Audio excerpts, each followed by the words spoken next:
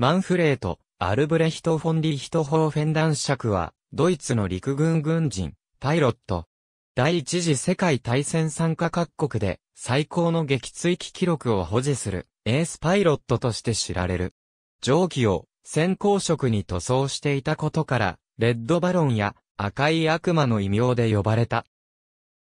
リヒトホーフェンは第一次世界大戦における空中戦で前人未到のスコアである80機撃墜を達成した。その紳士的な態度は天かける騎士と称賛される。プロイセン王国では、デアローテ・カンプリージャー、敵国のフランスでは、レプチルージュ、ディアブル・ルージュと、イギリスでは、レッドナイト、あるいはレッドバロンと呼ばれた。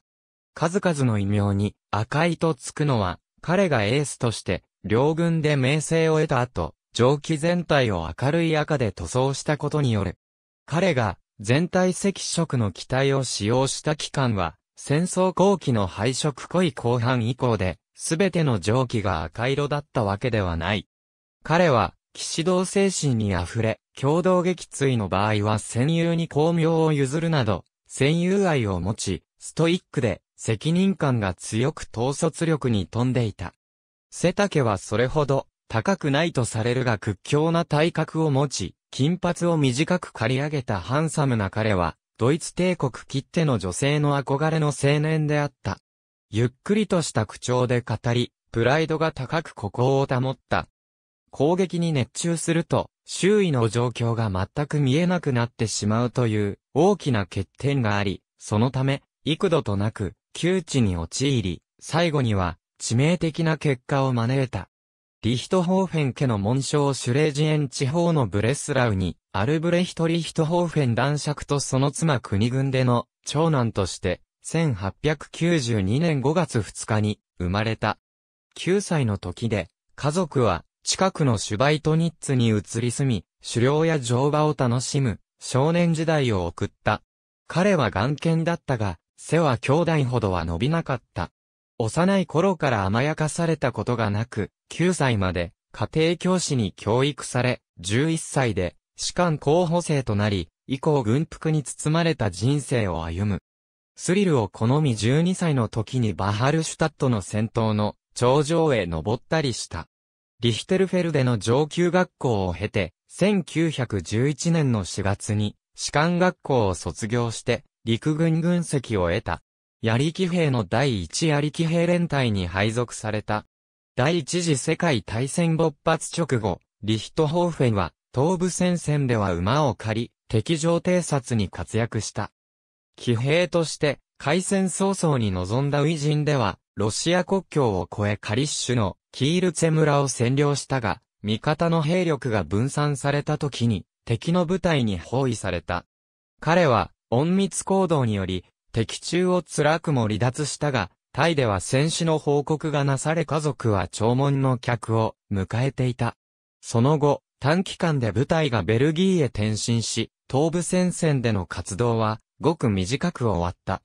このアールロンへの移動中、初めて戦争に飛行機が使用されるところを見て、リヒトホーフェンはこれに非常に興味を持った。私は飛行士が何をしているか知らなかったしかし、飛行士の姿を見るたびに興奮したと後に語っている。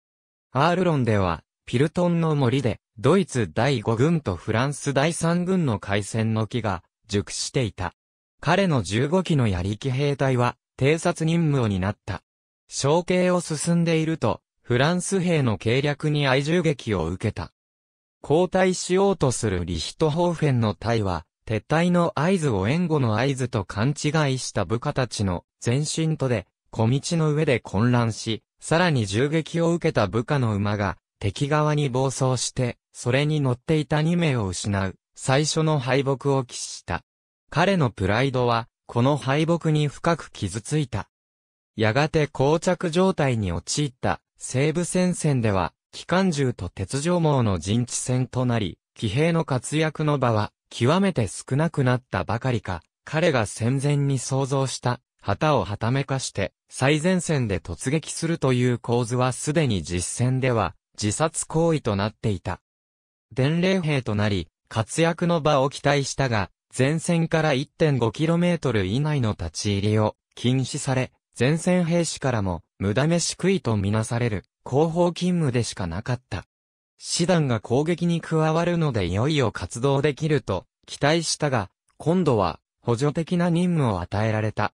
そのため、ついに彼は、槍騎兵部隊から転属願いを師団長に出し、その結果1915年5月に飛行訓練所への入所が認められた。リヒトホーフェンが死亡した当時の飛行隊にはまだ戦闘機はなく、短機同士の銃撃戦や飛行機が編隊飛行を行うことさえなかった。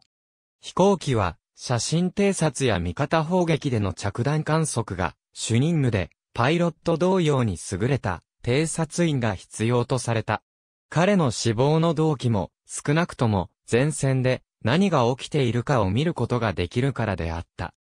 彼はケルンの第7飛行訓練所で4週間の座学と15時間の机上訓練を受けることとなり、訓練所では最初に机上試験で飛行機に乗れるかが試された。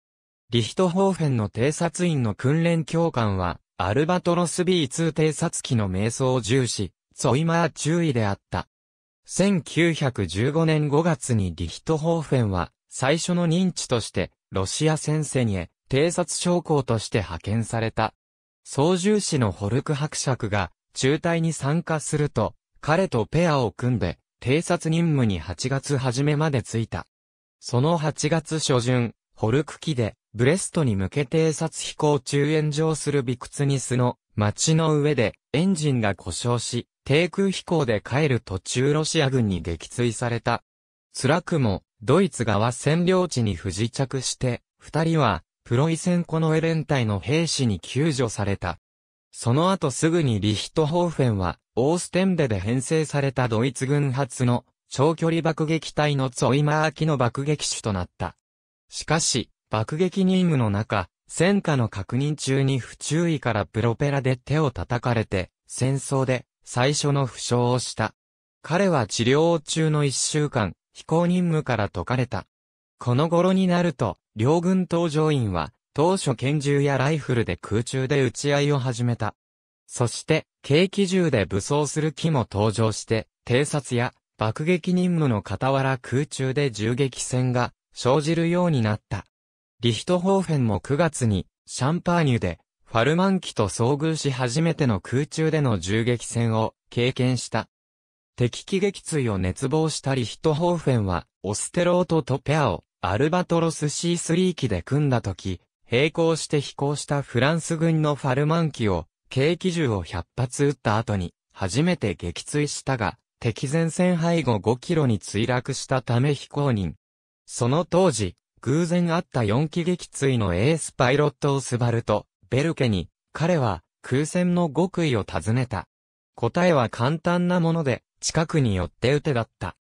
リヒトホーフェンも自分もそうしているが落とせないとさらに尋ねると、君は大きな爆撃機だが、自分はフォッカータニ容器に乗っているからだとの答えが返ってきた。リヒトホーフェンは後方に下がらず、前線で任務に就いたまま戦闘機パイロットになる決意を固め、デベリッツの基地内で爆撃機パイロットのツォイマーから25回の飛行訓練を受けた。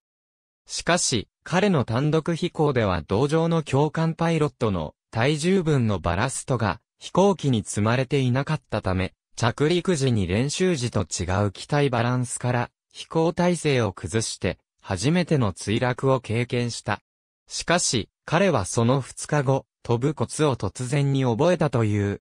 1915年12月25日デベリッケでの訓練飛行を終えて、1916年3月、ベルダン全面の第二戦闘飛行中隊に参加した。ベルケは、自らの率いる第二戦闘機中隊に、リヒトホーフェンを配属した。リヒトホーフェンは、福座のアルバトロス C3 機の上翼に基準を、前方と上型に射撃できるように装着した。同僚が、機銃の効果を疑う中、4月25日フルリー、ドゥモーンで、フランスのニューポールタンザ機を撃墜した。これが、リヒトホーフェンがパイロットとなって撃墜した第1号、2機目の撃墜であった。しかし、敵前線後方に墜落したためこれも非公認となった。その後、ライマン少尉と一機のフォッカー E 型単容機を午前と午後で共同使用することになる。ライマンが撃墜され、これによりリヒトホーフェンはようやく単独使用ができるようになった。しかし、このフォッカー E 型単容機を彼は3度目の出撃時にエンジン故障で墜落させ、2度目の墜落を経験する。リヒトホーフェンは西部戦線にオズバルド・ベルケの変態機として戻った。上記は、アルバトロス D2。彼の最初の公認記録は1916年9月17日、フランスのカンブレー PDA イコールプルシン上空で、ベルケに随伴して、哨戒飛行中イギリス第11飛行中隊のモリス、少尉とリーズ中尉の EF-2B 複座、戦闘機を短期で撃墜したことによる、彼はこの戦いの後、ベルリンに住む、宝飾職人の友人に、空中戦の日付と敵機の機種を刻んだ銀牌を発注する手紙を書いている。しかし、彼の恩師と言えるベルケは10月28日に40機撃墜の記録を残して、両機と空中衝突して戦死し、ベルケの飛行中隊の部下たちも6週間のうちに6名が戦死、1名が負傷し、2名が神経症で、登場ありから消えていた。しかし、リヒトホーフェンはこの後も戦果を上げ続けた。1916年11月23日に、バポームアルベール上空で、マンフレートは、当時のイギリス最高のエース、ラノーフォーカー少佐のエアコー DH2 と交戦、45分に及ぶ、激闘の末に勝利して、一躍有名になった。彼は1917年1月までに16機を撃墜して、プロイセン軍人最高のプールルメリット勲章を受章した。同月、彼はエリートパイロットたちで編成される第11戦闘機中隊の中隊長に任命された。この中隊は部隊の識別色として機体の配色に赤を採用したが、中でもリヒトホーフェンの蒸気は全体が赤く、特に目立つものであった。このことは、ドイツ国内のプロパガンダに使われ、敵にも赤い戦闘機の輪の名が知られるようになった。1917年3月28日に、ティオワで、公認31機目となる米軍ニューポール17戦闘機を撃墜した後の3月の末から4月の初め、5機編隊のリヒトホーフェン中隊は15機の英軍編隊を発見した。リヒトホーフェンは、編隊から離れた敵機に対して攻撃すべく、接近したが、射撃直前に敵弾が、蒸気エンジンと2個の燃料タンクに命中し、ガソリンを噴出しながら不時着した。危うく空中爆発の危機を乗り越えたリヒトホーフェンは、以後攻撃一辺倒の性格を抑制すべく努力した。決起に流行りすぎることが、自信過剰と不注意につながることを学んだが、ここ一番という時に防御が甘くなる欠点は、この後も完全には克服できなかった。初めての空戦での敗北であったが、それに恐れることもなく4月2日には、ファルビウスで、公認32機目の A 軍の BE-2、D 複座機を早々に撃墜している。赤いアルバトロス D3 に乗るマンフレートと彼の仲間たち1917年4月アメリカが参戦し、皇帝ビルヘルム2世は戦争の先行きに有料を深めた。そのような中、リヒトホーフェンは騎兵隊員に昇進した。また、ドイツ空軍部隊では、ようやく優秀な飛行機設計と大量生産計画が結実し、優秀な戦闘機が大量に前線に配置された。このため、ドイツ軍隊連合軍の損害費は1、4にまで拡大した。それでもイギリス軍は新型機が投入されるまでの数ヶ月の間、速度や運動性能に劣る在来の BE 機や FE 機での苦しい戦いを継続したため空前絶後の損害を出した。マンフレートも、このドイツ空軍の上げ潮の頂点に立ち4月2日に2機、撃墜したのを手始めに、4月29日に、英軍クズナー中尉の最新型のソッピース、トライプレーン3容機をビーモンティとセロミーヌの間で撃墜するまで、計21機を撃墜し、公式記録を前代未聞の52機とした。この4月29日夕方には50機撃墜に対して、皇帝ビルヘルム通与より電話での祝賀の言葉を受けている。1917年6月初めに、第一戦闘航空団指揮官に任命される。マンフレートは部下に空中戦理論を教えることで、対全体のスコアを上げている。そのため、第一戦闘航空団は多くのエースを輩出し、連合軍からフライングサーカス、リヒトホーフェンサーカスと恐れられた。彼は、自らの撃墜に関しては、他の者が共同撃墜でその功績を単独で得ても、敵が撃墜されることに意義があるとして争わなかったが、部下の撃墜が、他の者の功績となることに関しては、指揮官には事故へとは別の責任があるとして、絶対に譲らなかった。1917年7月6日リヒトホーフェンは、戦闘中に撃墜確実の獲物として近接した英軍のビッカース複座戦闘機から同機機重視ウッドブリッジ少尉による300メートルからの長距離射撃を受け、頭部に長さ10センチ以上の列車を追い不時着した。19日間の入院の後現代復帰したが、部隊長は彼が未だ飛行任務に耐え得ないとして飛行中止を命じた。8月16日に命令を無視して復帰した後、同16日、26日及び9月2日3日に、英軍機と交戦し4機を撃墜したが、基地に帰ると激しい頭痛と、めまいや吐き気に襲われた。彼は、今回の敗北では、精神的にも大きく、打撃を受け自身を喪失した。9月3日に自ら願い出て10月23日まで生まれ故郷へ帰級した。しかし、彼の母親によると、頭の傷は、口が開いたままで、息子が懐かしい家で休息を取りたいと願ったのは、当然でした。しかし休めませんでした。という、国民的な撃墜王が一人で過ごせる時間は少なかったのである。この負傷後、自信に溢れたリヒトホーフェンは影を潜め、目下の者にも隠しきばらなくなり、ひどく打ち解けた態度を示すようになったという。この撃墜時の不時着の時のことを語った彼の言葉に、真の戦闘機パイロットは死ぬまで操縦桿から手を、話はしないがある。10月23日現代に復帰した。